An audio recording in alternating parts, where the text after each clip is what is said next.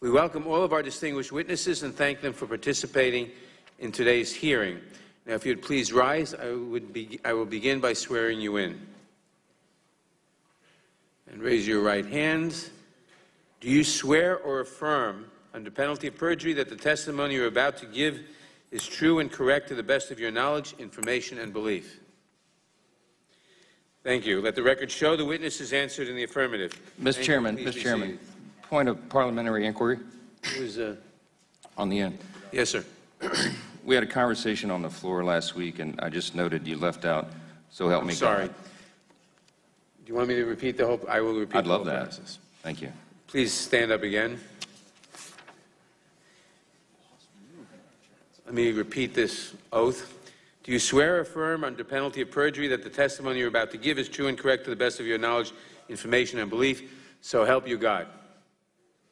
Thank you. Let the record show the witness has answered in the affirmative.